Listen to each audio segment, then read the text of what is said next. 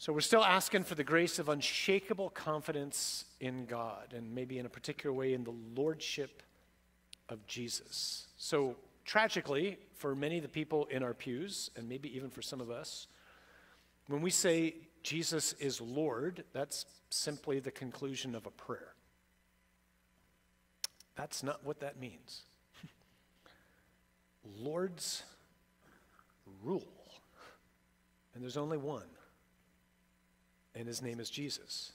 And so we're asking him for this confidence that we want. So we looked at why did he come and what was he doing on the cross. The third part of uh, rescued, uh, I would say, is so what difference does it make? You know, a friend of mine's always uh, fond of saying, like, so what, now what?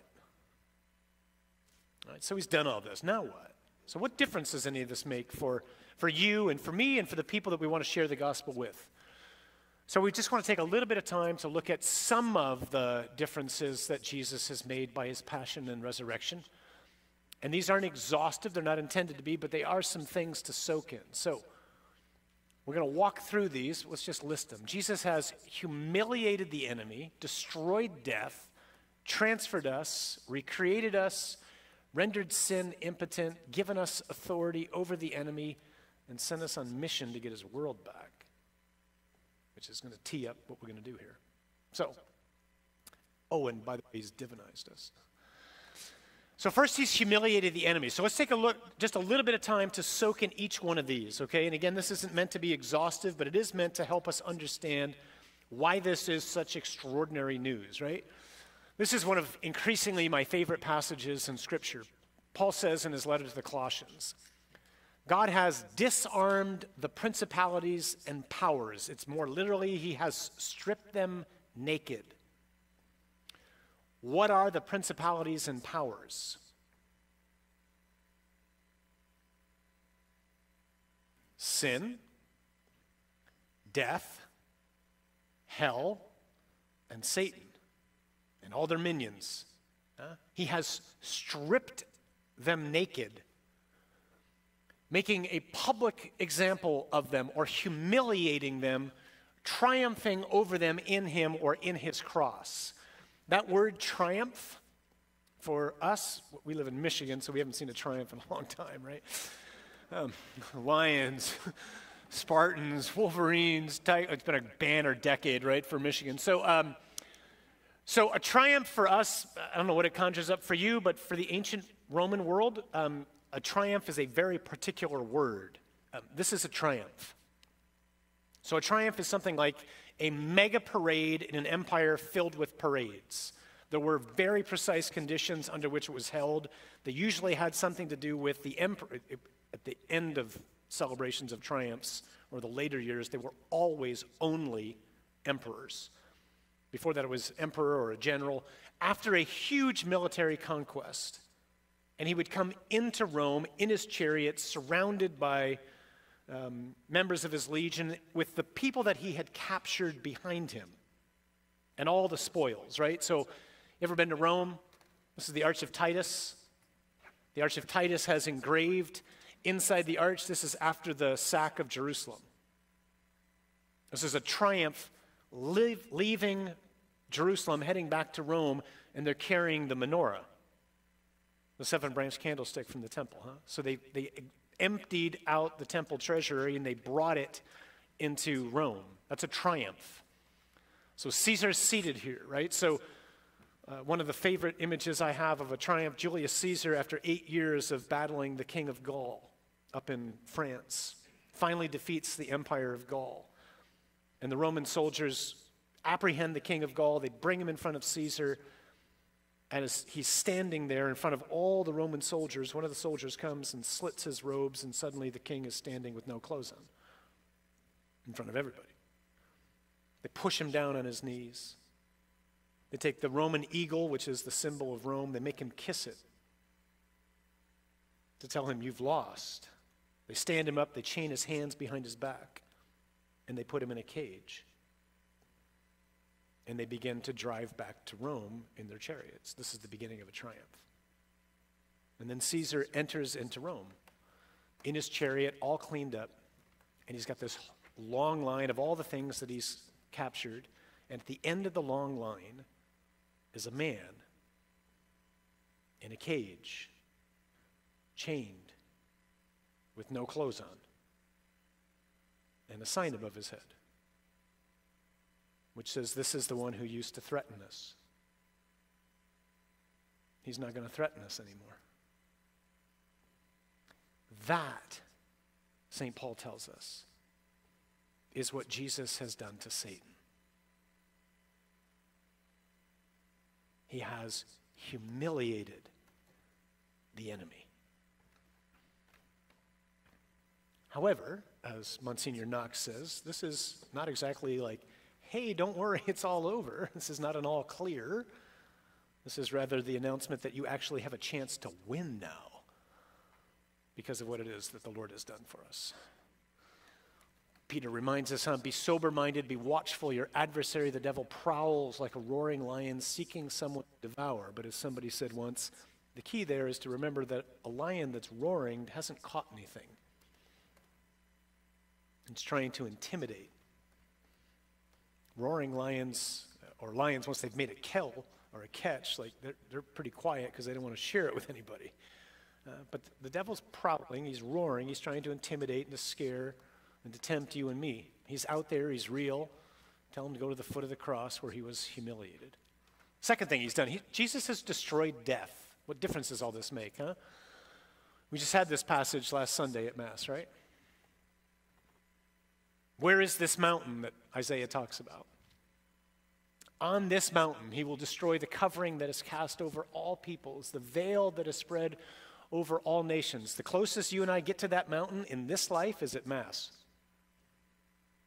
Remember, my first pastor, never forget, um, when I was a newly ordained priest, he was celebrating the funeral of one of his best friends, and he looked at the widow at the beginning of Mass, and he says, I just want to remind you that you will never be closer to Jim again than when you come to Mass, because there's only one Mass, and it happens in heaven. And everybody's there. And every time we walk into Mass, we walk into heaven, even if I can only see like four people. But I've walked into heaven at that moment. I'm surrounded by all the angels and saints and all the souls in purgatory. And he says, he looks at this widow and he says, and when the Eucharist is held up, it's like a two way mirror. And on the other side is Jim. And you see what looks like bread but isn't bread. And on the other side is him, and your glance will meet as you look at Jesus together. That's an amazing image. We're going to bring the Lord out in a, in a bit. We're going to have some time to pray, and we're going to get onto the mountain. It'll be as close as we can get on the mountain when we're in front of the Blessed Sacrament or when we're at Mass, huh? God promises this, right? The veil that is spread over all nations, He will destroy, He will swallow up death forever. And the Lord God will wipe away tears from all faces. And the reproach of his people he will take away from all the earth. That's a promise, people. I don't know about you, I cry all the time for my family members and my loved ones and my friends who've died. Not for them, for me. I'm happy for them. I'm not so happy for me. but the Lord promises I'm going to feel his hands on my face, and he will wipe my tears. And we will be together again because of what it is that he has done. Paul to the Corinthians, then comes the end when he delivers the kingdom to God the Father after destroying every rule and every authority and every power. And the last enemy to be destroyed is death. First Thessalonians, huh? We don't want you to be uninformed, brothers and sisters, about those who are asleep, that you may not grieve as those who have no hope. Not that you may not grieve. We all grieve. But you may not grieve like those who have no hope. The extraordinary thing, because of what it is that God has done for us in Jesus, is there's still a very real communion between us and them right? There's a thin veil between me and my friends and family members, and your friends and your family members. And I talk more to my parents now than I ever did. all because of what it is that has happened by Jesus' death and resurrection. Paul to Timothy, huh? Our Savior Christ Jesus, who abolished death. Like we just made a law that said no more dying. That's what that means. Death has no hold on me. So I'm not afraid of dying anymore. I'm going to die. It can't keep me. You're going to die. It can't keep you. Somehow we got used to talking about this stuff as if it's ordinary. This is extraordinary news. Hebrews. What do we know about Hebrews? It's not a letter. Paul didn't write it, and it's not to the Hebrews. Other than that, it's spot on. So, since therefore the children share in flesh and blood, he likewise, he himself likewise partook of the same nature, that through death he might destroy him who has the power of death, that is, the devil. There's some of us in here who are still afraid of dying. Maybe when we bring the Lord out in the Blessed Sacrament, we ask the Lord, Lord, will you do this for me? Deliver me from this. Because I'm not supposed to be afraid of dying anymore. What else has he done? He's transferred us. So we, we looked at this passage earlier, Colossians 1 13 to 14. This is the passage I read now at the beginning of every baptism I celebrate. Like before we do anything, I'm going to share this with the people that I'm celebrating with, and then I'm going to explain it. Because that's, this is what happens in baptism. Like, here's this cute little baby, sort of, right? and it's so innocent, but it's not, because it actually belongs to the kingdom of darkness. Which isn't to say it's some wicked child, it means it can't fight against the powers of sin and death. It has no defense against them. That's why it belongs to the dominion of darkness. So if you could see its spiritual birth certificate, it would say it belongs to death. It, it has no chance. But in baptism, something happens, right? He's delivered us, transferred us, moved us from the dominion of darkness, transferred us to the kingdom of his beloved Son, in whom we have redemption, the forgiveness of sins. We give people these little baptismal certificates, and, and I don't know what they do with them. I think most of them throw them out, unfortunately. That's like a new spiritual birth certificate. Like you get new papers when you're baptized. You move. A friend of mine is a Baptist minister. He tried to explain it this way. He says, Imagine, if you will, and for some of us this is easy to imagine, you grew up in a really abusive home. Alcoholic father, always screaming at his wife, always screaming at you. You do everything you can to not stay home. You get involved in every sport, every extracurricular activity, everything, so that you don't have to go home. Because when you're home, plates fly. And so you sneak home late at night. Then you go back the next day and you just stay out all the time again. And across the street from you lives this annoyingly happy family. And every night out the window, you can hear the father playing in the front yard with his kids.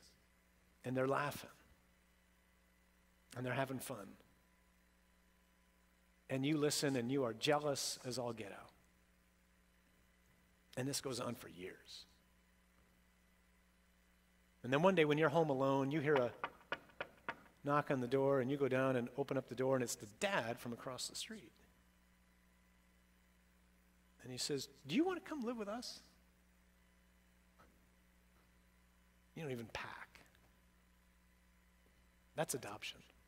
That's baptism. You move from the house of a tyrant to the house of a good father. Hahn, again in that commentary to Romans, the recipient of baptism undergoes a death to the bondage of sin and is brought to life again by a reception of grace, transferred from dominion of death, the dominion of sin, to the kingdom of life. We say this in the Roman Missal during Lent, huh? It, these things show up all the time when you start looking for them. By the mystery of the incarnation, he has led the human race that walked in darkness into the radiance of the faith and has brought those born in slavery to ancient sin through the waters of regeneration to make them your adopted children. That's how we were born. I'm born enslaved to sin and death, but the Lord's transferred us. Rutledge, again, it takes hard mental work to enter Paul's thought world and understand that his words do not describe a bondage. This is so important right now because this is what the world thinks of us. To become a Christian is less, not more. To become a Christian is to undergo slavery. No, it's to undergo freedom. Right? Paul's thought world understood that his words do not describe a bondage to a harsh puritanical code imposed upon us by a tyrannical outside force. He means the opposite. The gospel of Christ means precisely deliverance from tyrannical outside forces into a realm of light and life. Here's a key question don't raise your hand, don't nod your head. Do you believe that?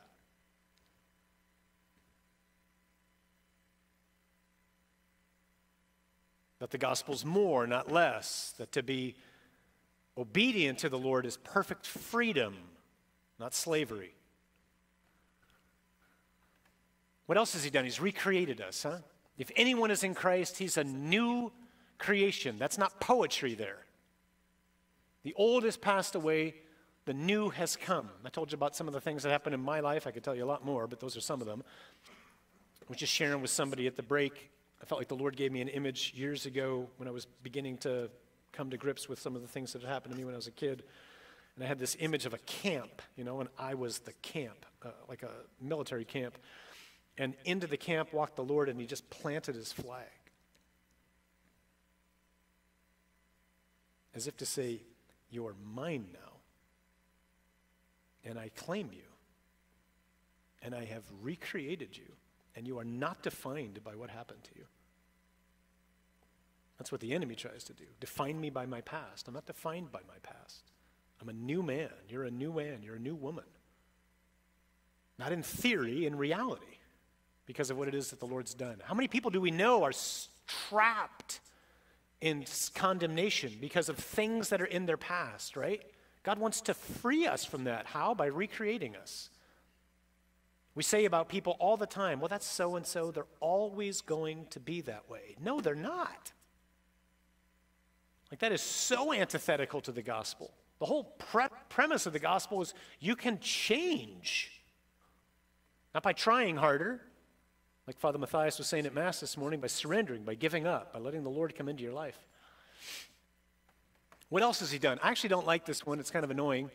He's rendered sin impotent. By annoying, I mean like the passion takes away all of my excuses for not being better than I am.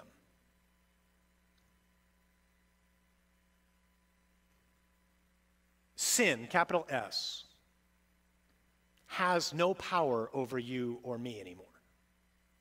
Not if we belong to Jesus. This is really hard to come to grips with. Like, I don't have to sin. Neither do you. I do all the time. Because I have memories, and I have habits, and I have instincts that I act on sometimes. But I don't have to sin. Before the passion, like I had no chance, and you had no chance.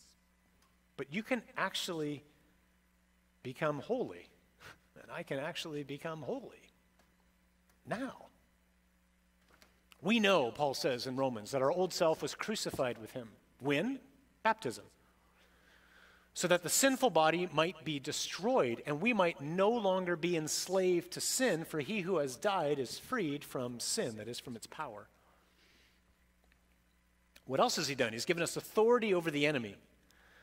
Behold, I've given you authority, power, huh? his own power to tread upon serpents and scorpions and over all the power of the enemy, and nothing shall hurt you. This isn't to go be stupid and go, you know, don't rush in where angels fear. But it is to know that the Lord, who binds spirits, gives us his authority. Why? So that we can then be instruments to liberate others. He sent us on mission to get his world back. I think we understand this passage wrong many times. You know, Jesus says to Peter, I tell you, you are Peter, and on this rock I will build my church, and the gates of hell shall not prevail against it. And I think oftentimes we hear that and we think, Well, no matter how bad it gets, the Lord promised that the church will stay standing. It's not really what he's saying. In fact, some of the churches which existed in the early history of the church aren't standing anymore, most especially the ones in Asia Minor. What the Lord's saying is, like, hell has no chance against me. Not me, him. That's what he's saying. Right? Gates are not offensive strategies, gates are defensive tactics. You're not attacked by a gate. Gates are used to keep people in or to keep people out. The presumption here is that you and I are going to be on the attack against the gates of hell to rescue people who are in need of rescue. Jesus came and said to them, All authority in heaven and on earth has been given to me. Go, therefore, and make disciples of all nations, baptizing them in the name of the Father, and of the Son, and of the Holy Spirit, teaching them to observe all that I have commanded you. And lo, I, I, the one through whom a universe that's 46 million light years across, I, the one who took on sin and Satan and hell and death and crushed them, I, I, the one who holds in my hands the keys of death, I, who have no rival I, who am Lord now of heaven and earth, I, who hold in my hands all the kings of the earth, I am with you. What are you afraid of? Go. Like, giddy up. Get to work. So we were doing this uh, we were doing a retreat like this with a bunch of folks out in South Dakota about a year ago. In the middle of one of the breaks, a guy came up to, I think it was to Mary, and said something like, You know, I think I understand all this. This is really helpful. Here's what I don't understand I don't understand why. Like, why would God do this? And here's the answer like, what's the heart of the gospel? What's the core of the gospel, if you could put it that way? I think you could say it's this You matter. You, not y'all, you matter to the God who speaks and a universe comes into being who knows the names of all 70 sextillion stars. You matter to him.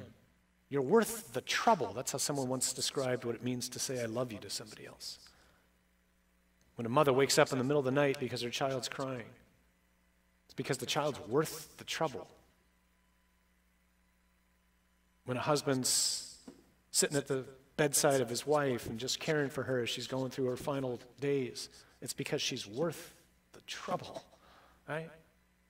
God made man, nailed to a cross out of his love, is saying to you and to me, you are worth the trouble of me doing this, right? Remember the icon? Who will go and get him? Who will bring him back? Who will bring him home? I will. Why? because you're that important to me. And ultimately, because love does such things, and as, think as Romano Guardini said, uh, and God is love. Remember that passage? Even the captives of the mighty shall be taken, and the prey of the tyrant shall be rescued. That was me, that was you.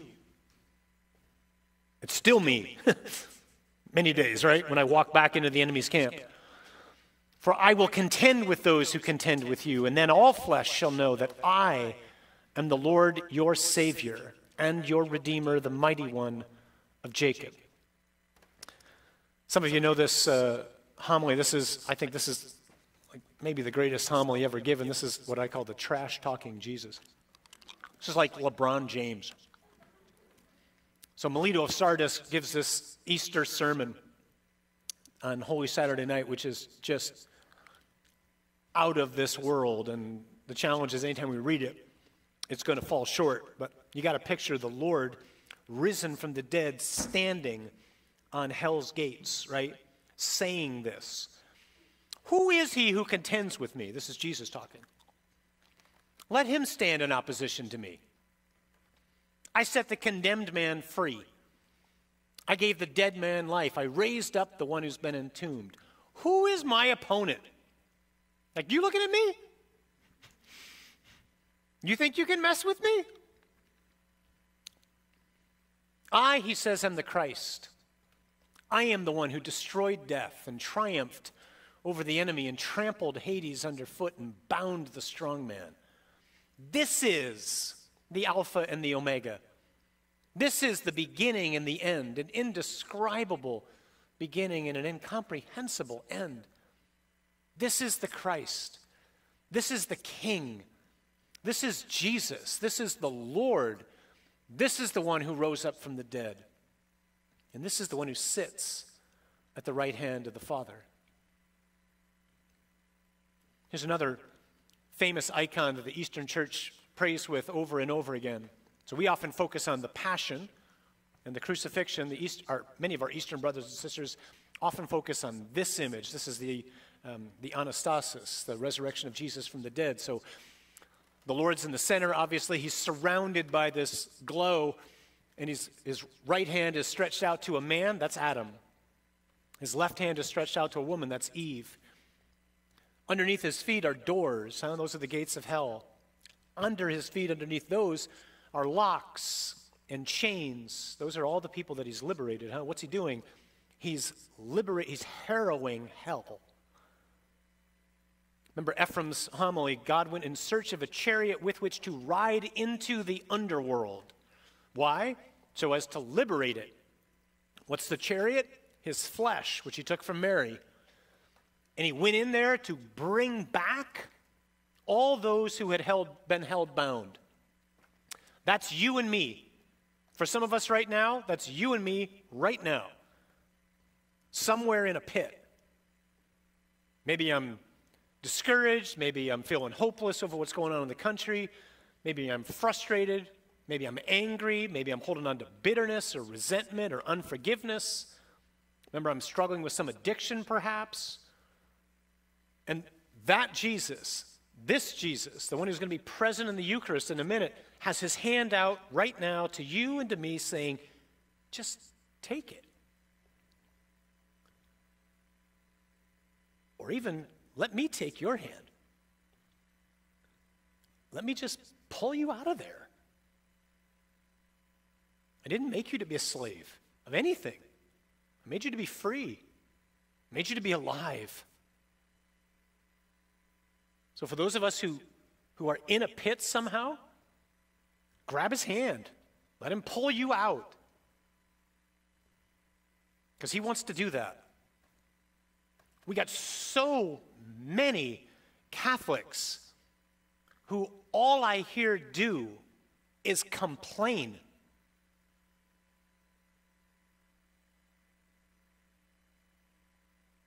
felt like the Lord said to me, He said this to me first, and then He said it to share it with other people. But like starting last January, I felt like I just kept hearing this resounding thing from the Lord like, John, tell them to stop complaining.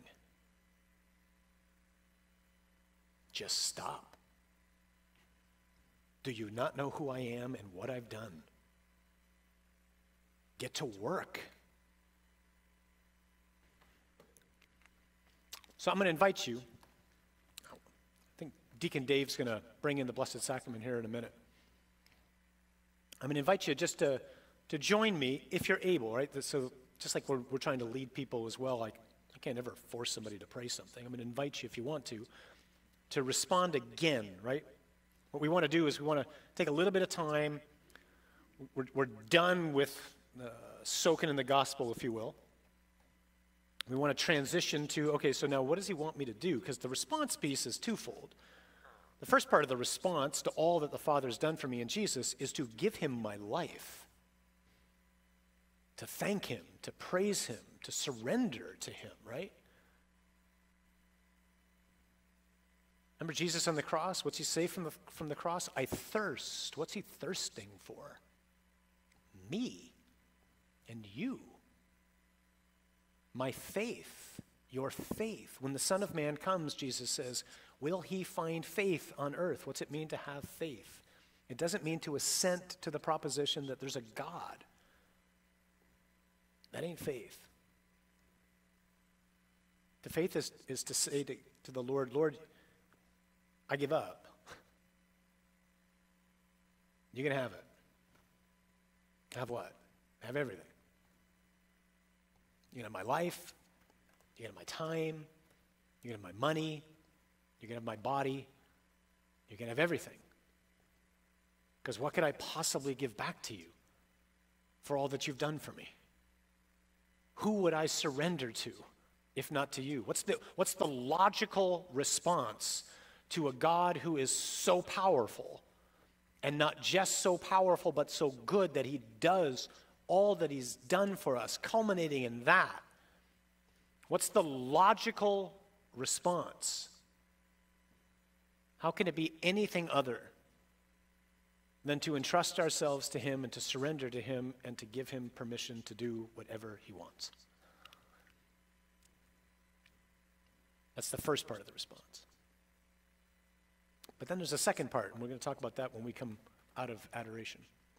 So, if you're willing and able to do this with me, I invite you to, to pray this with me yet again, mindful that you and I are living sacrifices, and I keep crawling off the altar, and God's inviting me to crawl back on right now.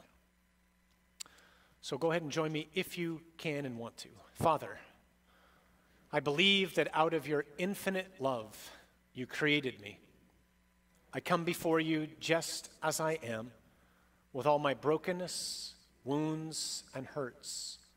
I am sorry for all the times I have believed the enemy's lies, that you are not a good father and don't love me.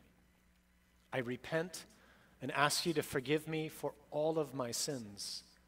Thank you for sending Jesus, the ambush predator, to rescue me from sin, death, hell, and Satan. And so tonight, here and now, I surrender to you, Jesus, and desire your lordship over every area of my life. I ask you now to flood my soul with the gift of the Holy Spirit to know my true identity as your child.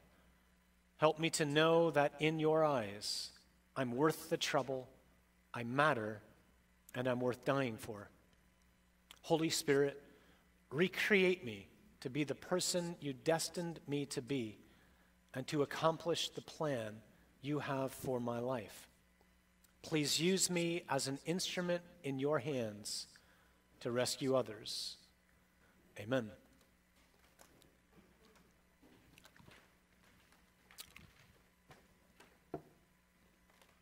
So we're going to bring the, the Lord in. I'm going to invite Deacon Dave's got uh, Jesus. So we're in chairs. If you can sit, great. If you can kneel, that's great too. And I'm just going to put this image back up on the uh, screen of the um, anastasis of the Lord pulling Adam and Eve out of hell. And I just invite us, however it is the Spirit's moving us to respond to the gospel again today, to feel free to do that. We're going to take 15 minutes, okay? And then we take a break at 2:15. So, whatever posture is most comfortable for us to pray in, uh, feel free to do that. And uh, let this be uh, an opportunity to just personally respond uh, as disciples of Jesus and tell the Father how grateful we are and to ask Him to take our hand and to pull us out of wherever we might be that we don't want to be.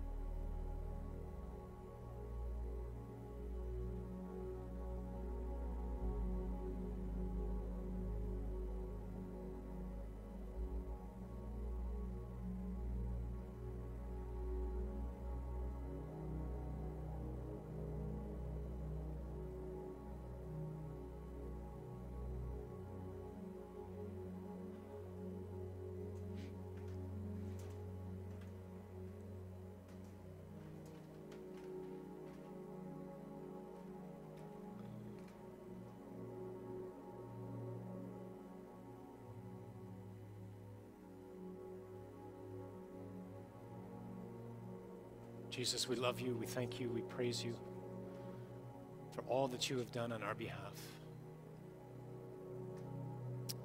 We give you the remainder of this day. We ask that you continue to mobilize us for mission. We give you permission to use us and to do in, with, and through us whatever you desire so that more and more people might be rescued.